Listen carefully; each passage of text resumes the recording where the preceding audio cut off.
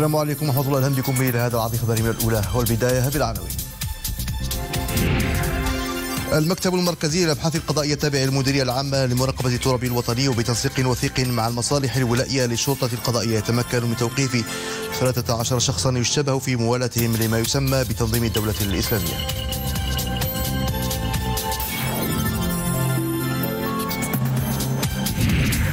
المجلس الأعلى للحسابات والمديرية العامة للأمن الوطني وقعان بروتوكول اتفاق لتطوير التعاون بشأن استخدام المنظومة الوطنية للتعريف الإلكتروني التي طورتها المديرية العامة للأمن الوطني.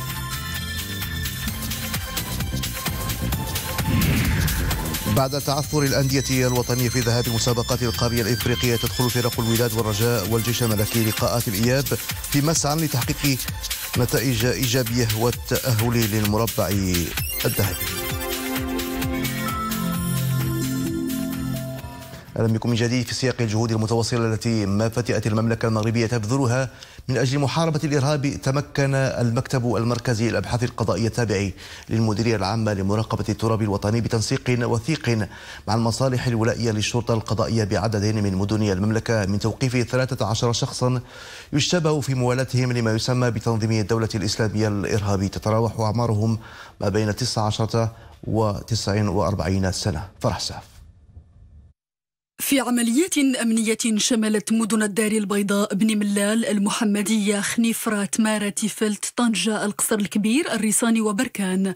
تمكن المكتب المركزي للأبحاث القضائية التابع للمديرية العامة لمراقبة التراب الوطني من توقيف 13 شخصا يشتبه في موالاتهم لما يسمى بتنظيم الدولة الإسلامية الإرهابي. تتراوح أعمارهم بين 19 و 49 سنة حسب بلاغ نشره المكتب اليوم.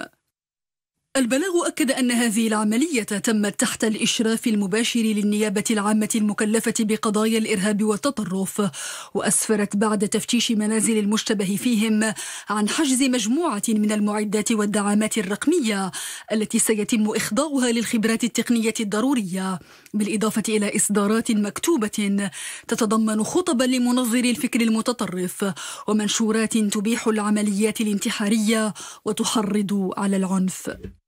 وحسب ذات البلاغ تشير المعطيات الأولية للبحث إلى أن بعض المشتبه فيهم تورطوا في الإعداد لتنفيذ مشاريع تخريبية تستهدف منشآت حيوية وطنية حساسة. إضافة إلى عناصر ومؤسسات أمنية في إطار عمليات الإرهاب الفردي حيث انخرطوا فعليا في التحضير المادي لهذه المخططات عن طريق رصد وتحديد الأهداف بالموازاة مع القيام بأبحاث مكثفة بغية الحصول على المعلومات بخصوص كيفية صناعة المتفجرات. كما أوضحت التحريات أن بعض المشتبه فيهم تمكنوا من نسج علاقات مشبوهة مع عناصر إرهابية خارج المغرب بهدف التنسيق للالتحاق بإحدى فروع تنظيم داعش خاصة بمنطقة الساحل والصحراء. هذا وقد تم الاحتفاظ بالأشخاص الموقوفين المشتبه فيهم تحت تدبير الحراسة النظرية على ذمة البحث القضائي الذي يجريه المكتب المركزي للأبحاث القضائية تحت إشراف النيابة العامة المختصة.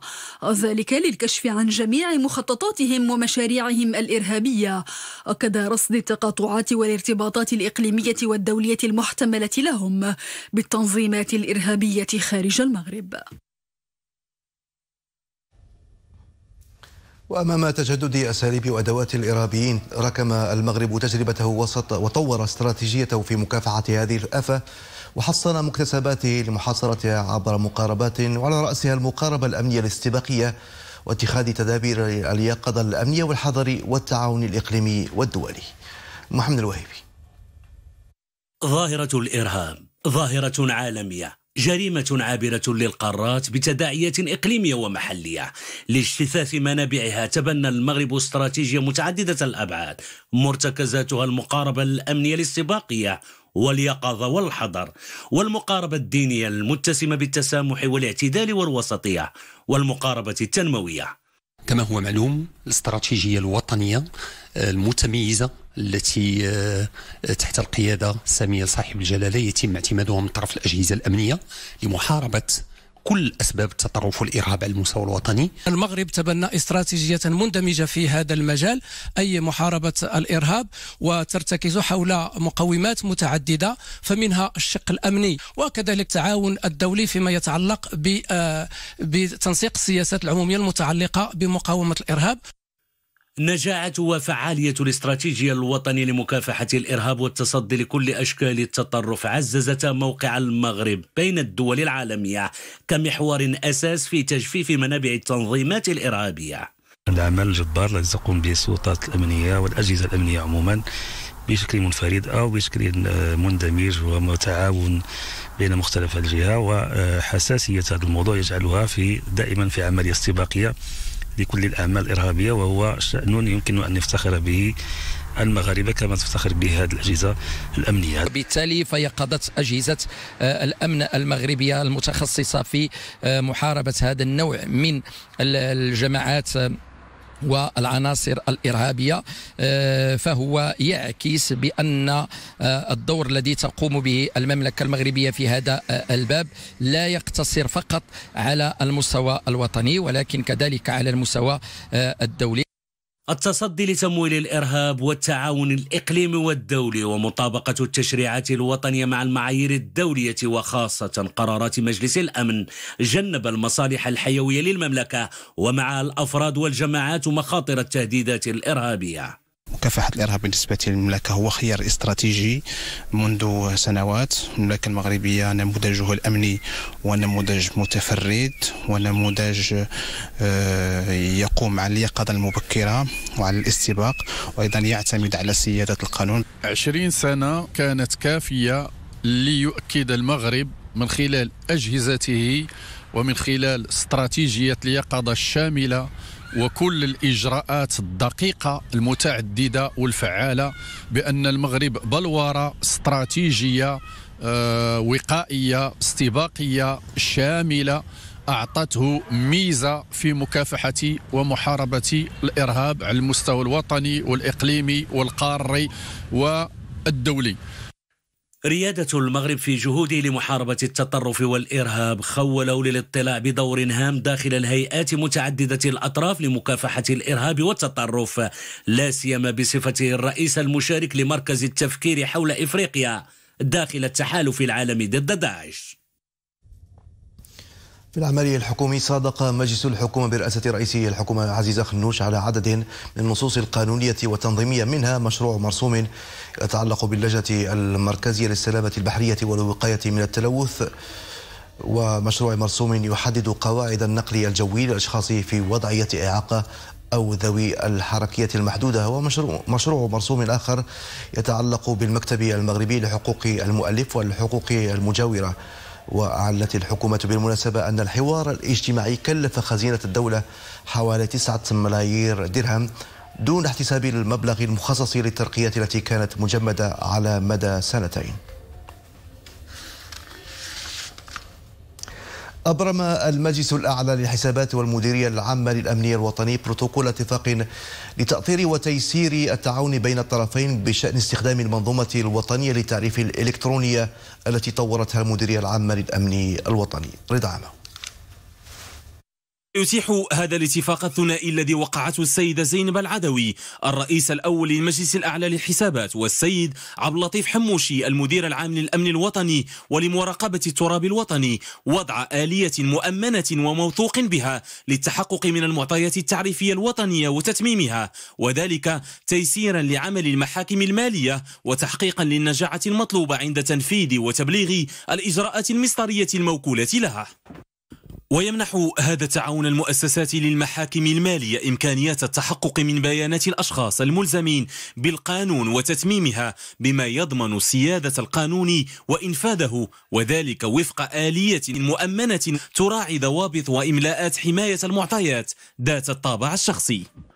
وتحقيقا لاستدامة هذا التعاون وحسن تطبيقه فقد نص هذا الاتفاق على إحداث لجنة تتبع مشتركة مكونة من ممثلي الأطراف الموقعة يعهد لها بالسهر على التنفيذ السليم لأحكام هذا الاتفاق.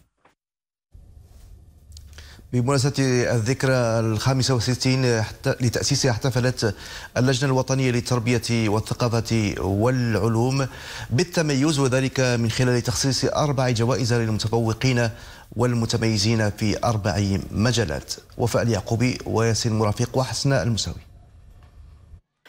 الجائزة الأولى في مجال الذكاء الاصطناعي كانت من نصيب الأستاذ الباحث بجامعة ابن طفيل بالقنيطرة السيد محمد كاس بعد إنجازه لتطبيق يساعد على التعرف على مشاعر الأشخاص من خلال صورة الوجه. وهذا التطبيق يعني عنده أبعاد يعني اجتماعية باش يعاون لنا الناس اللي هما les personnes âgées ولا زعما العجزة والناس اللي يعني في وضعيات صعبة واللي كيعيشوا بوحدهم وحتى بالنسبة للمرضى اللي تكونوا مثلا في المستشفيات وهذا يعني ممكن أنه يحلل يعني التعابير ديال الوجه ديالهم وما يعرف يعني شنو le traitement qu'il faut فيها وهادو تكون عندنا في واحد la base ديال التعلم ولا يعني قاعدة ديال البيانات اللي فيها صور ديال الناس وفي كل صوره ديال الناس تكون عندنا الإحساس اللي كان في ذاك الصورة. تتويج أيضا للمجهودات المتعلقة بالتنمية المستدامة داخل المدارس وتشجيع الثقافة المقاولاتية في صفوف خريجي مؤسسات التكوين المهني. الدورات التكوينيه اللي قدمناها لحاملي المشاريع للمواكبة اللي قمنا بها لإنجاز دراسات الجدوى لحاملي المشاريع وكذلك مواكبة أثناء أثناء تأسيس المقاولة وخلق المقاولة.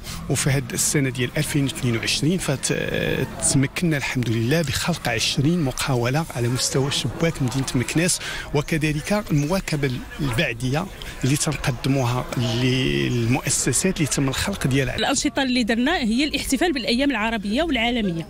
هي اللي درنا باش حصلنا على على الجائزة. وهذه الأنشطة داخلة في نادي الاليكسو نادي الاليكسو آه، منتسب ضمن النوادي اللي منتسبة ضمن المنظمة العربية للتربية والعلوم والثقافة. هناك مجموعة من النوادي العربية وحنا كنمثلوا فيها المغرب. والحمد لله ملي وصلنا لهنا هذا يعني أننا مثلنا المغرب احسن أحسن تمثيل. كما خصصت لجنة الأليسكو جائزة للتراث الثقافي المادي واللامادي بأعمالهم وكذلك بالميادين تكوينهم. وبهذا تم نشر أربع جوائز خاصة. وهذه لحظة كذلك لتتويج هؤلاء الباحثين عن الأعمال التي قاموا بها وكذلك آه، البحوث التي قاموا بها لنستفيد منهم لنستفيد منها نحن. وكذلك عموم الاشخاص أو المغاربة اللي في ميدان آه، البحث العلمي. جوائز تشجيعية من شأنها حشد الهمم وخلق روح المنافسة للمزيد من العطاء والبحث العلمي الهادف. في تطورات الأزمة الخطيرة التي تعيشها السودان معارك عنيفة في العاصمة السودانية ودارفور. ومع ذلك فقد أكد فقد أكد وزير الخارجية الأمريكي أنتوني بلينكين أن بلاده تعمل بجد مع طرفي النزاع في السودان لتمديد الهدنة التي تنتهي بنهاية اليوم. نبيل أزرقان لليوم الثالث عشر تتواصل المعارك الدامية في السودان حيث تعيش العاصمة الخرطوم على وقع القنابل وتبادل النيران بعد تجاهل طرفي النزاع الهدنة المتفق عليها. فيما احتدم القتال في دارفور غرب البلاد لليوم الثاني على التوالي بمختلف الأسلحة. ورغم تواصل المعارك أكد وزير الخارجية الأمريكي أنتوني بلينكين أن بلاده تعمل بجد مع طرفي النزاع في السودان لتمديد الهدنة التي تنتهي اليوم. وزارة الخارجية السودانية من جانبها نفت دخول الجيش في تفاوض مع قوات الدعم السريع. وقد أسفرت المعارك حتى الآن عن مقتل أكثر من 500 شخص على الأقل وجرح الآلاف بحسب وزارة الصحة السودانية. ومع اشتداد حدة القتال في عدة مدن سودانية يواجه عدد كبير من المحافظات باقي أخبار العالم في هذه الجولة المختصرة مع عبد الوهاب كعرطي والبداية بموجة الحر التي تعيشها إسبانيا. إسبانيا تشهد موجة حر مبكرة مع درجات حرارة أعلى من المتوسط في بعض المناطق بحوالي 15 إلى 20 درجة مئوية. ووصلت درجات الحرارة إلى 40 درجة مئوية في مدينة إشبيليا جنوب البلاد. حريق اندلع في غابة سان برناردينيو الوطنية بالقرب من كاليفورنيا. السلطات قالت إن الحريق أتلف ما بين سبعة إلى عشرة أفدنة حتى الآن مع عدم وثائق غابات باستمرار خلال السنوات الأخيرة بسبب تغير المناخ.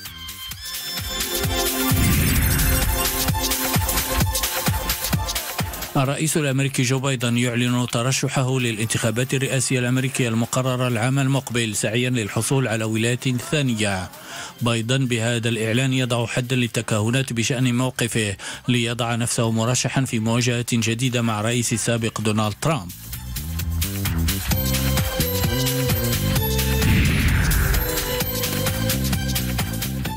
الرئيس الأمريكي جو بايدن ورئيس الكوري الجنوبي يون سونغ يول يوقعان اتفاقا جديدا يتضمن خططا لنشر غواصه نووية أمريكية في كوريا الجنوبية.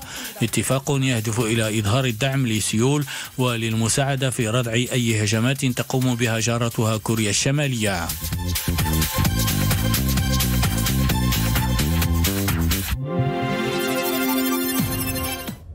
وطنيا متحف الفنون يفتح أبوابه بمدينة أكادير إلى جانب مجموعة أخرى من المشاريع التي تندرج في إطار التهيئة الحضرية للمدينة. من بينها المرآب تحت أرضية للبعاث ومشاريع أخرى تسهم لا محالة في النهوض بالمدينة. سكين الهاشمي وياسين العزي متحف جديد ديار النورة بعاصمة سوس. متحف الفنون يغني الرصيد الثقافي للمدينة ويضفي عليها مزيدا من الجمال. رسالة علمية وثقافية يحملها المتحف عبر عرض آثار وتحف تعبر عن تراث محلي وإنساني. شهدنا على المجموعة ديال البنايات الثقافية اللي الحمد لله كتعرفها اليوم مدينة أكادير وكتعرفها التطور ملموس وكتعرفوا بأن إلا بغينا نوصلوا الأهداف اللي اللي وعدنا بها المغاربة بما فيهم الصناعة الثقافية والالتزامنا بتقوية الحياة الثقافيه لابد أن يكون هناك بنايات ثقافية في المستوى. اليوم مدينه اكادير كتعرفوا على التطور ملموس آه اللي كتشوفوه بعينكم الحمد لله. هذا النهار هذا هذا النهار تاريخي. علاش تاريخي؟ لأن درنا متحف هنا في أكادير. دابا بغيت نشكر أول صاحب الجلالة نصر الله لأن دار هذه الثقافة في هذا المستوى. المستوى ديال البلادات اللي مهمين في الدنيا. وبغيت نقول لكم بينما المغرب إفريقيين كياخذوا كمثال. المشاريع الجديدة أيضا تهم افتتاح المرآب تحت أرضي الانبعاث. وتقديم أشغال تهيئة القاعة الرياضية الانبعاث وتقديم أشغال تهيئة ممر أيت سوس وساحة أيت وحنا سعداء بتسجيل واحد مجموعة من المشاريع اللي كتدخل في برنامج آه، برنامج التياء الحضاري لمدينة أكادير اللي عطى الانطلاقة ديالته صاحب الجلالة نصره الله. هذه المشاريع كلها كتدخل في إطار إغناء البنية التحتية لمدينة أكادير من أجل تحسين جودة الحياة بها ومن أجل آه، جعلها مدينة جذابة تغري ساكنتها بالعيش وتغري المواطنين بالاستثمار فيها والزيارة ديالتها. هذو كلهم مشاريع داخلين في إطار البرنامج. التنمية الجيده يعني آه، الحضريه ديال ديال ديال اكادير واللي هو مشروع ملكي. اذا هادو كلهم قطاعين أساسيين. يعني لا سال كوفرت القاع المغطاة. إطار يعني التنمية الرياضية. مشاريع من بين أخرى تدخل في إطار التهيئة الحضرية لمدينة أكادير. مشروع ملكي يروم النهوض بالمدينة وجعلها قطبا اقتصاديا ذا جاذبية وتنافسية. صورة المغرب في بعده الإفريقي موضوع ندوة علمية نظمتها مؤسسة على الفاسي في إطار برنامجها الثقافي بحضور عدد من الأساتذة والباحثين عماد أمسمير وعثمان تازي الندوة العلمية عرفت تقديم العديد من المداخلات حول موضوع المغرب في بعده الإفريقي، حيث مكنت هذه المداخلات من فتح نقاش بين الباحثين من أجل فهم خصوصية المغرب في علاقته بإفريقيا. هو موضوع يتمتع براهنية آه، كبيرة باعتبار أن المغرب غادر هذه الاتحاد أو المنظمة أنذاك منظمة الوحدة الإفريقية 1984 آه، ثم عاد إليها في آه، سنة 2017 إذا بعد هذه المدة الغياب جاء الحمد لله استرجاع المكانة التي كانت للمغرب ولكنه بنفس جديد وبآفاق جديدة. الفرص التي تتيح يتيحها أو تتيحها هذه العلاقات وأيضا إمكانية توظيف القوى الناعمة لأجل تمتين هذه العلاقة من جهة وكذلك من أجل تحقيق نموذج آه، آه، تعاون جنوب جنوب بما يستفيد به المغرب طبعا من الفضاء الإفريقي من جهة وكذلك تقاسم المغرب لفرصه ولتجاربه وخبرته مع الفضاء الإفريقي المتدخلون في هذه الندوة أكدوا على أن المغرب أضحى شريكا لعدد كبير من الدول الإفريقية بحيث أصبح يتنزل منزلة رفيعة وقطبا اقتصاديا له القدرة على الدفاع عن مصالح القارة السمراء. الموضوع هو مهم جدا بالفعل لا سيما في هذه المرحلة اللي المغرب بدأ ينظر إلى إفريقيا كمستقبل كعمل مستقبلي. والموضوع هو المغرب في بعده الإفريقي كما تعودنا نحاول في مؤسسة علال الفاسي أن نتطرق للأمور الوقتية أكثر من من من أي شيء آخر. وخلصت الندوة إلى أن المملكة تحولت من دولة تطمح إلى نسج علاقات سياسية واقتصادية مع إفريقيا إلى دولة مؤثرة في النسيج الاقتصادي وتكتلا سياسيا محوريا في القارة السمراء. في سياق انفتاحها على المحيط التربوي الوطني سفارة اليابان تتواصل مع تلاميذ إحدى المؤسسات التربوية بمدينة الجديدة والهدف تقريبهم من المسار الدراسي باليابان. بوشعب عماري وأحمد الحمري. يندرج هذا اللقاء في إطار انفتاح السفارة اليابانية بالرباط على المحيط التربوي الوطني من خلال تقريب صورة هذا البلد الأسيوي في مجال علوم الفضاء وما وصلت إليه الدراسه والابحاث خدمة للانسانيه جمعاء كما يسعى هذا اللقاء إلى التواصل مع الطلبة بمختلف الأكاديميات التربويه بالمملكة. نتحدث في هذا اللقاء عن ما تحققه اليابان من تقدم في مجال تكنولوجيا علوم الفضاء وعن إمكانية متابعة الطلبة المغاربة لدراستهم العليا باليابان. وزارة التربية الوطنية يعني آه، عندها أصلا آه، يعني واحد التراكم إيجابي جدا لعل أهمه هو التعاون مع الوكالة اليابانية للتعاون الدولي آه، جيكا بحيث أن مثلا على مستوى المديريات الجديدة فابتداء من شهر شتنبر المقبل غادي نستقبلوا لمدة سنتين متطوعة يابانية اللي غيكون الدور ديالها هو المواكبة نتاع المؤسسات التعليمية في مجال أنشطة الحياة المدرسية. الندوة شكلت مناسبة لتقديم بعض الكفاءات المغربية التي أثبتت مكانتها داخل وكالة الفضاء اليابانية كأول أجنبي يشتغل داخل هذه الوكالة وتقريب تجربته من الطلبة وحثهم على الاهتمام بالعلوم الإنسانية كأداة للرقي والنماء. كنت آه، باحث آه، في علوم الفضاء في اليابان في وكالة الفضاء اليابانية جاكسا.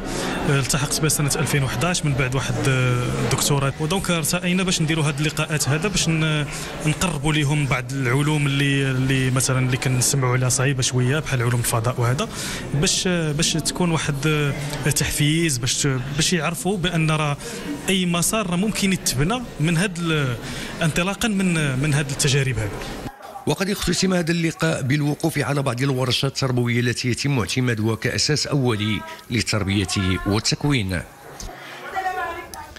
قدمت اللجنة المنظمة للمهرجان الوطني لمسرح الشباب في دورته الثانية وجائزة محمد الجمل للمسرح في نسخة الحادية عشرة. قدمت برنامج هذه التظاهرة التي تسعى إلى تشجيع الطاقات الشابة المبدعة في مجال المسرح. سمير أصبان وسمير بركة. الاحتفاء بأبي الفنون وتحفيز مبدعيه الشباب.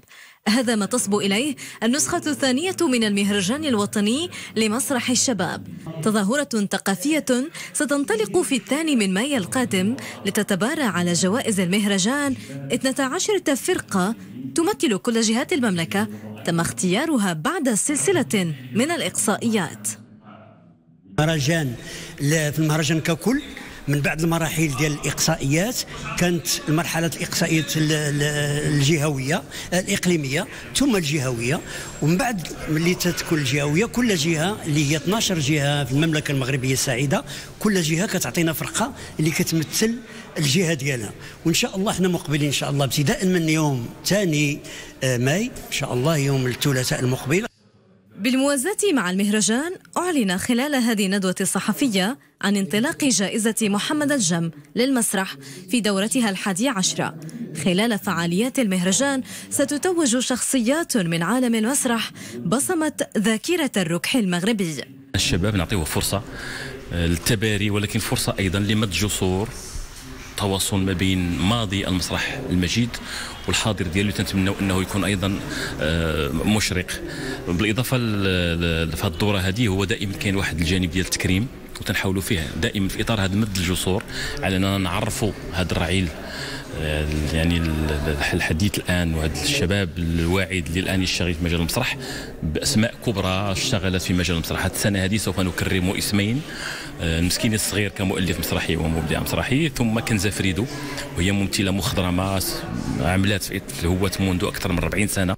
المهرجان الوطني لمسرح الشباب هو امتداد للمسرح المدرسي. حدث ثقافي يسعى إلى تحفيز المواهب الفتية أكثر على الإبداع على الخشبة. رياضيا وبعد تعثر الأندية الوطنية في ذهاب المسابقات القارية تدخل فرق الوداد والرجاء والجيش الملكي لقاءات الإياب وهي تمني نفسها بتحقيق التأهل للمربع الذهبي. محمد بن تركة حسن زكي مصطفى وداع إلى الأندية الوطنية الثلاث تدخل غمار مباريات إياب مسابقتي عصبة الأبطال الإفريقية وكأس الكف مواجهات حارقة وفاصلة في إياب دور الثمانية. الوداد الرياضي مطالب بتجاوز هدف الذهب وداد الأمة بات خلال السنوات الأخيرة مستأنسا بأجواء المسابقة إذ يلعب الأدوار الطلائعية وهو حامل لقب المسابقة. وداد واخا خسرات في الماتش ديال الالي إن شاء الله مع الجمهور. وداك الشيء إن شاء الله غادي نربحوا وغادي نفوزوا وإن شاء الله الرباح واللقب غادي نحافظوا عليه إن شاء الله. وديما وداد. واخا النتيجة كانت في مباراه الذهاب بواحد زيرو لأن فهمتي ما كانوش عندنا الجماهير ولكن الجماهير راهم اللي كيعطيو تحفيز كبير للاعبين. وإن شاء الله تكون يوم الجمعة نمشيو نصليو إن شاء الله وغندعوا مع الوداد تربح وغتربح الوداد إن شاء الله. ما غاتكونش صعيبة كما كان. غتكون نتيجة إيجابية إن شاء الله. ومع الجمهور راك عارف مركب محمد الخامس راه ماشي زعما نقول بهذه العبارة ما نخسروش. تاهل وكنتمناو الفرق المغربية كاملين تاهل الرجاء الرياضي ومهمة صعبة أمام نادي القرن الأهلي المصري لكنها ليست بالمستحيلة إذ ستلعب جماهير الرجاء العالمي وكما جرت العادة دورا مميزا لتحفيز اللاعبين في نزال على صفيح ساخن الماتش اللي إن شاء الله نتمنى ما يكون لا تخريب لا والو وما يكونش المهم حنا كنا كازاوا بحال الوداد بحال الرجاء. الرجاء ودادنا إن كترجع في النتائج. وهذا الشيء ما غريبش على الفريق ديالنا. وكنتمناو المقابلة تدوز في واحد الروح رياضية. آه الإخوان المصريين راهم خوتنا. إن شاء الله الماتش الجاي ديال الرجاء إن شاء الله ما تكونش الخسارة بحال الماتش اللي فات. إن شاء الله مع المساعدة ديال الجماهير إن شاء الله ديال الرجاء ان شاء الله يكون يديروا شي حاجة مزيانه الله نهار السبت. غادي نمشيو رغم النتيجه خسرنا بجوج ل zéro هنا إن شاء الله واحد ثلاثة ل zéro ضروري عندنا عندنا مدرب تايقين فيه تايقين في الجماهير شيقين في كل شيء معنا ربي وما نخاف الزعيم وبعد هزيمته في لقاء الذهاب بهدفين سيدخل مباراة إياب كأس الاتحاد الإفريقي لكرة القدم مسلحا بعزيمة اللاعبين. عشاق نادي الجيش الملكي وبعد طول انتظار أصبح أكثر من أي وقت مضى مطالبا بالوقوف كرجل واحد في هذا اللقاء الفاصل أمام اتحاد الجزائر. بالتوفيق لكل الأندية الوطنية التوقعات الجوية ضمن تقرير سلاف سرعي مساء الخير مشاهدينا واهلا بكم إلى النشرة الجوية. نستهلها بنشرة خاصة للمديرية العامة للأرصاد الجوية من المستوى البرتقالي والتي تتوقع أن يكون الطقس حار طيلة يوم الجمعة بدرجة ستتراوح ما بين 42 و 44 درجة. بسرودانت الزاكس مارا سيدي قاسم وسيدي سليمان. وبدرجة ستتراوح ما بين 38 و 42 درجة بالعرائش والزان مكناس فاس مولا ثونات الخميسات القنيطرة خريب غاز طات برشيد بن سليمان سيدي بن نور بن ملال. مناطق سوس رحمنا شيشة والفقيه بن صالح. قلعة سراغنا طاطا قلميم وطنطان وبدرجة ستتراوح. ما بين 35 و 39 درجة.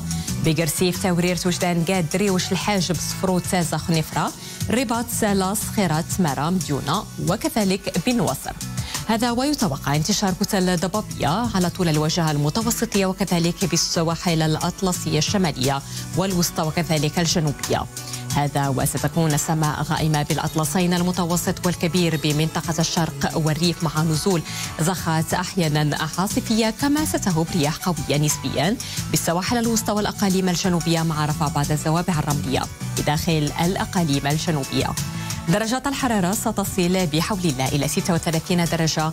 بفيجيك 37 درجة بوجدة 35 درجة بطنجة 32 درجة بمدينة الرباط 41 درجة بمراكش 25 درجة ستسجل بأكادير وكذلك بمدينة الضحلة و28 درجة بالكويرة والعيون. وعن حالة البحر سيكون بالواجهة المتوسطية هادئ إلى قليل الهيجان. بسواحل البوغاز وبالسواحل الأطلسية شمال بوجدور سيكون قليل الهيجان. بعلو سيصل إلى متر ونصف فيما سيكون بباقي السواحل. سيكون قليل الهيجان إلى هائج بعلو سيتراوح ما بين متر واحد ومترين. شكرا على طيب المتابعة مشاهدينا وعودة إلى الأخبار. نصل إلى ختام هذه النشرة. تذكير بأبرز ما جاء فيها.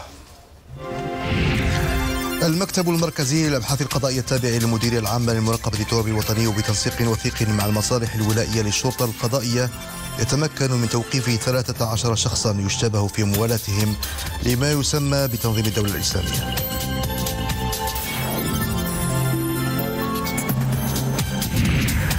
المجلس الأعلى للحسابات والمديرية العامة للأمن الوطني وقعان بروتوكول اتفاق لتأطير التعاون بشأن استخدام المنظومة الوطنية للتعريف الإلكترونية التي طورتها المديرية العامة للأمن الوطني. بعد تعثر الأندية الوطنية في ذهاب المسابقات القارية الإفريقية تدخل فرق الوداد والرجاء والجيش الملكي لقاءات الأياب في مسعى لتحقيق نتائج إيجابية والتأهل للمربع الذهبي. طابت أوقاتكم وإلى اللقاء بحول الله.